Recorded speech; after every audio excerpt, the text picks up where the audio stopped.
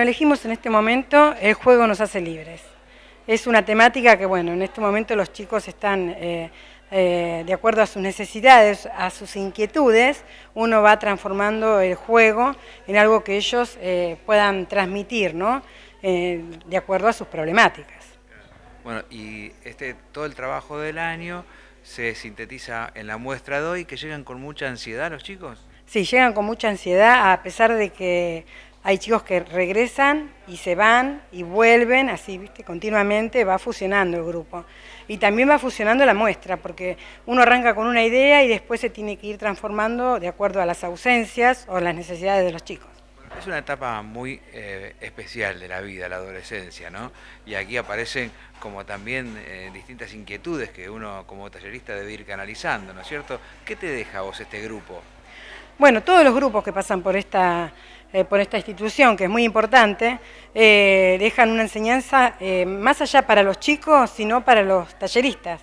¿sí? Nos deja firmes en esta vida, como para enseñarles y que ellos se lleven algo de valor importante para la vida de afuera. ¿no?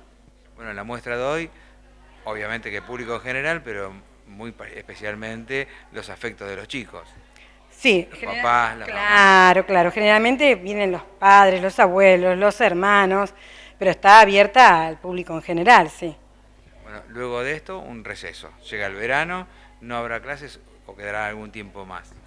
Eh, no, luego de esto ya el taller, eh, al menos el mío, se, se cierra, ¿no? Pero siguen las actividades de los ensayos para la programación que viene en verano, enero, febrero, que todos los días hay funciones diarias.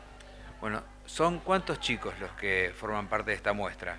En este momento 12 chicos son. Había más chicos, pero como te digo, viste, de acuerdo a sus necesidades van abandonando, dejando otras cosas y incluyéndose en este taller. Así que para algunos era su debut.